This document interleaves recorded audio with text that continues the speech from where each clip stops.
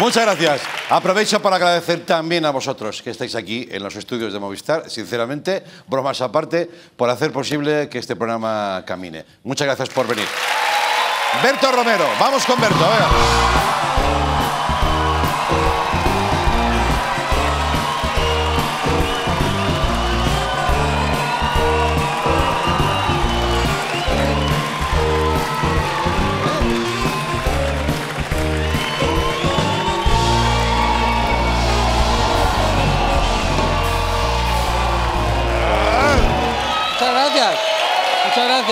Berto, Berto, Berto.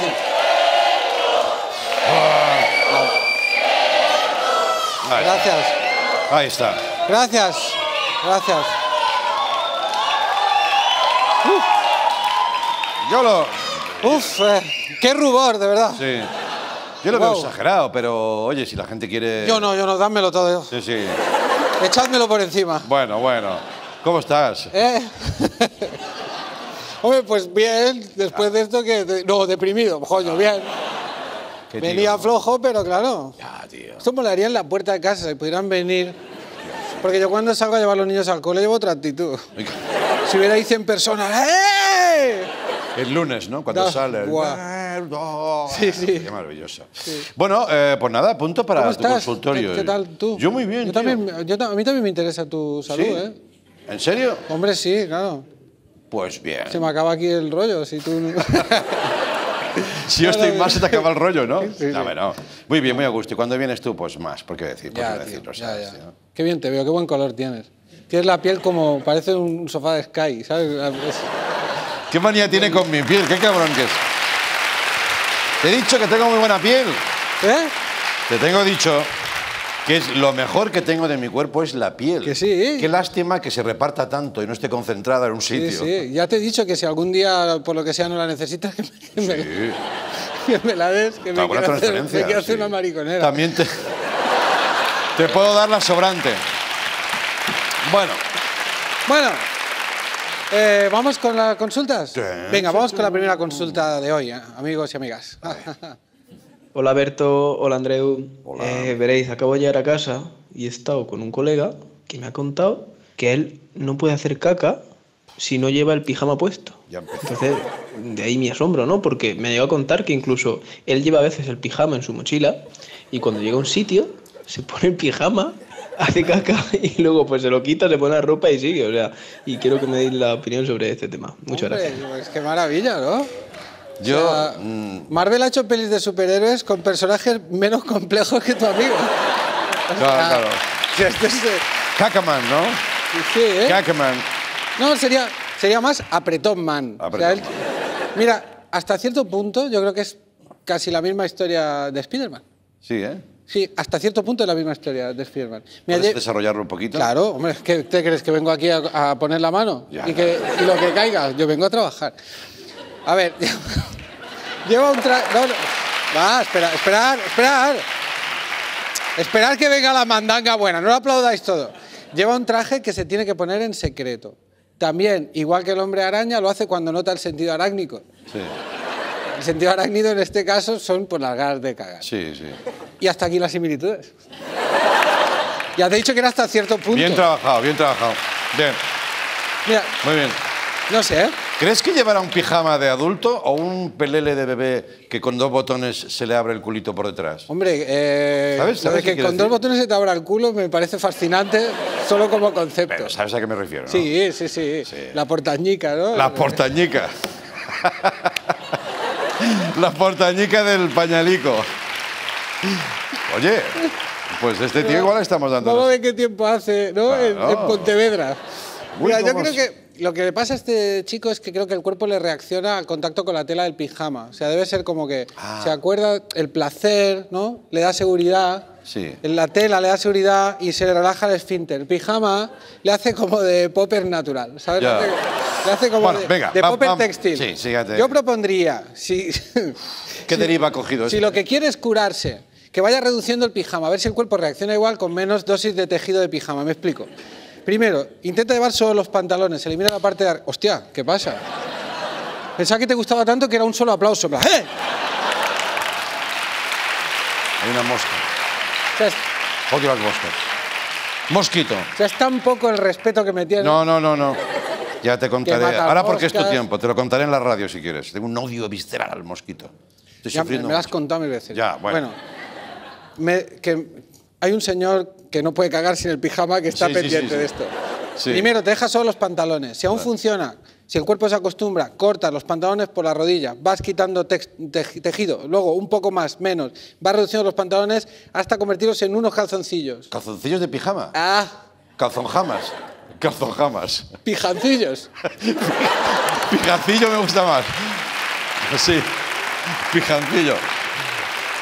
Sí, es, es como murciano, ¿no? Oh, ¿Te has puesto el pijancillo? Oh, que- Chacho. Quita el pijancillo, que lleva anchoa. Bueno, un, un poco más.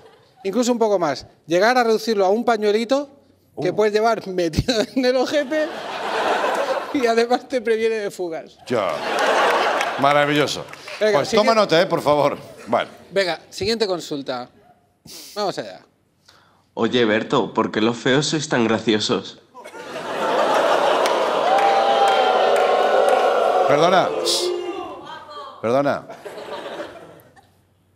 Ay, no va. ¿Qué haces? Pues un nuevo recurso que tengo de tensión, Ah, que lo trabajo con mi compañero Tino, que es que yo cuando hago así... pues lo trabajabas tú, pero Gino estaba... Ya. Bueno, porque no estaba previsto. Vale, vale. Pues Pruébalo tú, pruébalo tú. Gracias, Tino. Esto en estos programas no... A ver, bueno, cuando acabemos de, de fascinarnos por la tecnología, Sí. A ver, ¿por qué lo hacemos? Lo hacemos, los feos lo hacemos para sobrevivir. Para que los guapos como tú no nos hagáis daño. Pensando que somos monstruos mutantes que venimos a robaros vuestra comida a vuestros hogares. Os hacemos reír para que os confiéis y penséis que somos inofensivos y luego, sí, robarlo todo y acabar con vosotros. Porque os odiamos. La gente fea os odiamos. No os fiéis nunca de una persona fea especialmente de una persona fea que os haga reír. El rencor es nuestro motor. Solo queremos que sufráis y vuestra destrucción última es nuestra meta. Ese es el límite del humor, el final de vuestra vida. Muy bien, muy bien. Eso es. Bien. Qué sincero, ¿no? Muy bien. Oye, esto, Dime. esto puede ser delito de odio, Andreu. Sí, perfectamente. Hostia, es que estoy acojonado con eso. ¿eh? Sí, Mientras no te cagues en, en todo lo que se menea, Es ¿sabes? que yo estoy preocupado porque yo odio mucho. Ya. Yo cuando voy por la calle y se me pone un grupo de viejas por delante haciendo barrera, que las viejas son de hacer barrera por la calle. Sí, como Reservoir Dogs, ¿no? Sí. Sí. Reservoir viejas. Sí. Pues yo las, yo las odio, pero que las destruiría. ¿eh? ya. Yo eh, eh, las haría explotar por dentro a esas Por viejas. favor, por favor. Luego a la que las rebaso, ya no. Ya. Pero hay un ratito que me veo rompiendo, Microodios, ¿no? rompiendo cuellos. Ya, ya, ya. Va, relájate. Venga, eres un... Y delito de amor hay, ¿Sí? porque hay gente que quiere muy mal, ¿eh? Yo tengo una tía que íbamos Mal a comer. querer, ¿no? Sí, una tía que voy a- cuando vamos a comer a casa nos pone comida hasta que reventamos. Ya. Porque dice que nos quiere. Y yo tengo un principio de úlcera y se va a morir sin ir a la cárcel ni nada. somos-. Es verdad, que, que, que creen más raro, ¿no? Bueno. Vamos con la. Joder, mola y me sale mejor que a ti. Sí. No, perdona. Perdona. Espera, espera. Siguiente con. Y ves, con la cabeza va. Yo lo he hecho Sí, con es la una membrana, Yo lo he hecho con la cabeza también. Bueno. No. Eh, sí. Vale, vale, vale, va, va, va, va, No. va, va. Va, Es un campo de es- energía. Es un rollo que tengo muy un- cuartelario que me sale. Es un campo de energía que hay aquí, que es, es una tecnología muy avanzada. Sí, sí. Y entonces, no es táctil, es ener- energético. Claro, claro. ¿Ah? ¿Sigues tomándote la medicación? Sí. tal? Venga, siguiente consulta. Es un mensaje de texto por WhatsApp. Eh, dice, hola Berto, hola Andreu. Me preguntaba si os habíais dado cuenta que al haceros una fotografía desde abajo, echando la cabeza hacia atrás de manera que se muestre el cuello y el mentón, aparece un ser grotesco de aspecto faloforme cuya sola existencia haría temblar los pilares de la sociedad en la que vivimos. ¿Se podría considerar que tiene una apariencia extraterrestre o de criatura marina? A continuación adjunto una imagen. ¿A ti qué te parece? Dice. La imagen es esta que vamos a ver. A ver. Oh, Y dice, me he tomado la libertad de añadirle un rostro para ayudar a la visualización de dicha criatura. ¿Vale? oh, mama. Hay gente, ¿eh? Me gusta un poco, ¿eh? Hay gente que me pregunta si estas consultas las envía gente normal o las guionistas. Los guionistas, ninguna de las dos cosas. Ya, ya. Con ese, solo te digo, amigo, que con esa misma técnica, la de fotografiarte desde abajo, hay maneras de ver un ser aún más grotesco.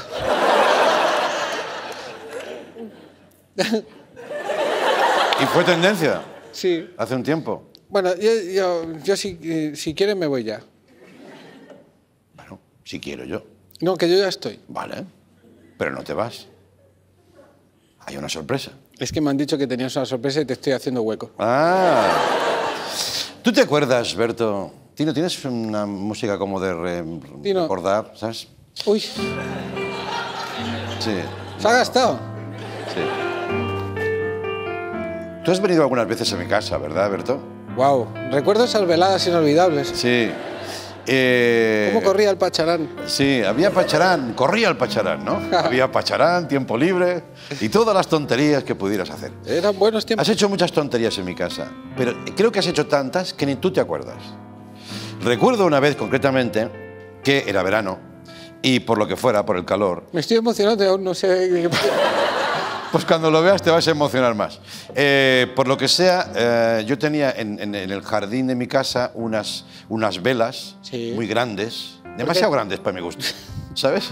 Como cirios pascuales. Sí, ya, ya, ya. Esos que hacen como con maceta. Sí. Y el calor había derretido la cera.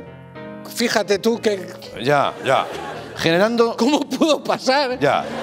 Pero este no es el tema. Generando un, un derretir Sí. muy, muy abrupto de la propia cera. Quiero recordar esa vela. Exacto. Era una muy gorda. Todo el mundo la oyó y dijo, mira qué, qué curioso. Pero solo una persona hizo una acción que merecía ser fotografiada. Y esa persona fue Berto. Pero espera, es que hay una persona del público que ¿Qué? aprovechando que vino hacia allá, hace así, en plan, salúdame. O sea, ella cree que yo voy a dejar Sí. la sección para hacer así y Sí. saludarla. Me ha parecido tan tierno, de verdad. Vale. Sí. Es muy bonito. De verdad, es, es muy bonito. Es, es, es no saber dónde estás, Hola. pero es muy bonito. ¿Te, te molesta si sigo con lo que estaba contando? Perfecto, gracias. Eh, bueno, pues tú te pusiste eh, y me dijiste, mira, Andreu, mira, como, como un niño. Dice, mira, Andreu, mira esto. Yo llevaba una cámara y te hice una foto. Y esa foto la he recuperado. Y me he permitido también intervenir un poquito en ella. Ajá. Y la va a ver toda España. Bueno, toda España, la España que vea esto. Bueno, sí, una, por- una porción. Una porción.